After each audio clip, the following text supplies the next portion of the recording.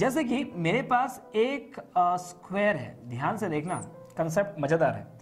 और उसके ऊपर मैंने एक और स्क्वायर रखा, उसके नीचे मैंने एक और स्क्वायर रखा, उसके नीचे, उसके ऊपर एक्चुअली मैंने एक और स्क्वायर रखा तो एक के ऊपर, एक के ऊपर, एक, मैंने स्क्वायर प्लेन ऐसा अरेंज किया।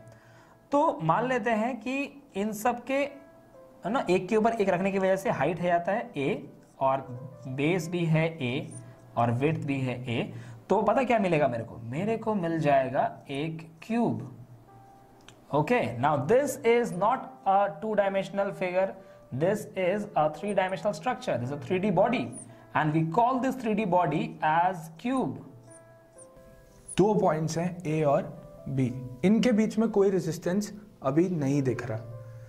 तो इसका ये मतलब है कि जो पोटेंशियल ए पे होगा, वही पोटेंशियल बी पे होगा, क्योंकि इनके बीच में कोई रेजिस्टेंस नहीं है।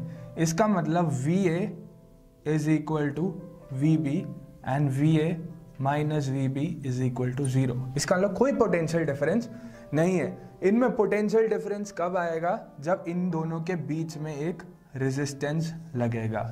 तो जब तक कोई भी सर्किट में रेजिस्टेंस नहीं है, तब तक सारे पॉइंट्स सेम पोटेंशियल पे होते हैं। ये चीज़ अपने दिमाग में बिठा लो, क्योंकि अगर ये समझ नहीं आया तो आगे थोड़ा थोड़ी सी डिफिकल्टी हो जाएगी, ठीक है? Talking about this word itself this word is made up of two further words one is alpha another is beta this bet comes from beta So like in English, we have got the English alphabet. Similarly, in other languages, we have got their respective alphabets.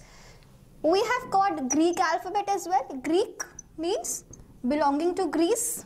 यूनान का यूनान तो सबने सुना है Greece so Greek alphabet से actually हमारे बहुत सारे इंग्लिश वर्ड्स जो है ना वो ग्रीस से आए हैं यानी ग्रीक लैंग्वेज से आए हैं वो फ्रेंच से आए हैं यानी फ्रांस की लैंग्वेज से और वो लैटिन से आए हैं लैटिन रोम इटली की कैपिटल आप जानते हैं रोम।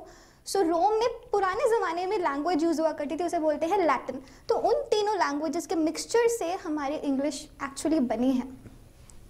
तो ग्रीक अल्फ़ाबेट का पहला हम इंग्लिश अल्फ़ाबेट का फ़र्स्ट क्या है? ए ग्रीक अल्फ़ाबेट का पहला लेटर है अल्फ़ा और सेकेंड लेटर है बीटा तो इन्हीं दो लेटर्स से हमारा ये वर्ड बना है alphabet and this alphabet is use without any S because it is singular एक ही है। इंग्लिश में सिर्फ़ पूरी इंग्लिश लैंग्वेज का सिर्फ़ एक ही अल्फ़ाबेट है, उससे ज़्यादा नहीं है। और उस एक अल्फ़ाबेट में आपके 26 लेटर्स हैं। So clear